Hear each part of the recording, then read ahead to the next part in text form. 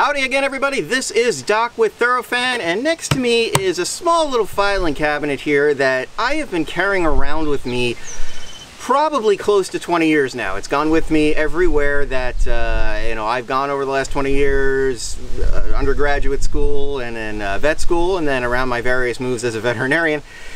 And it was just always kind of there. I never really uh, remembered much about it or, or, what was in it. I assumed it was just kind of most of the stuff from vet school. But, uh, you know, the other day I finally got around to cleaning it out and seeing what was in there. And I was shocked to find that not only were a lot of really cool things from my vet school days in there, but I also had some great photos taken uh, back in the 1990s, uh, and even a little bit before that, some were taken by my father who got me involved in racing. Uh, one that's amazing of, of the Mighty Forego winning at Belmont.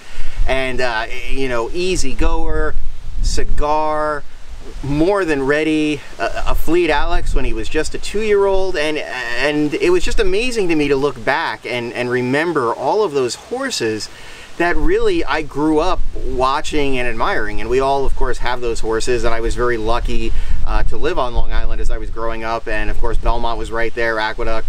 Uh, and being able to go up to Saratoga as well uh, and see all of these top class horses compete at the tracks. And I think everybody has some photos like that where, uh, you know, they look back or they find them and they remember some of the stories behind those horses or the times they were at the track. One of the first times I was ever at the track actually uh, with my dad was uh, that shot of Easy Goer when he was winning what I believe was the Jockey Club Gold Cup that year. Uh, and it's just uh, so great to be able to look back and, and, remember why we really became a fan of this sport. And so I figured, you know, us here at Thorofan, we, we want to see some of your photos like that. We want to see some of the photos of horses maybe that you followed throughout the years if you still have them.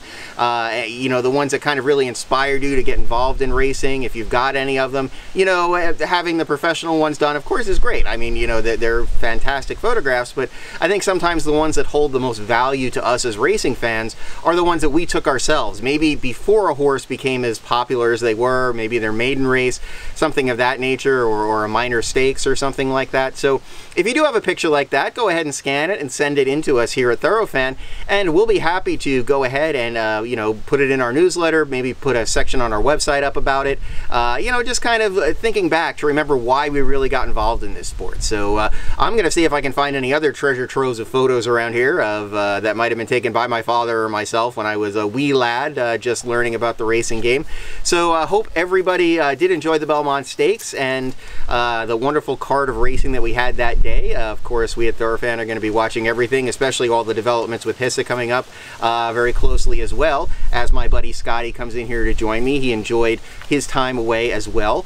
But again, if you do have any of those photos, be sure to send them along. And of course, if you are looking for everything and anything that is involved in this great sport of thoroughbred racing, you really want to only turn to one source, and that is the source that provides all the information for you, the racing fan, from us, the racing fans, and that is right here at Thorofan.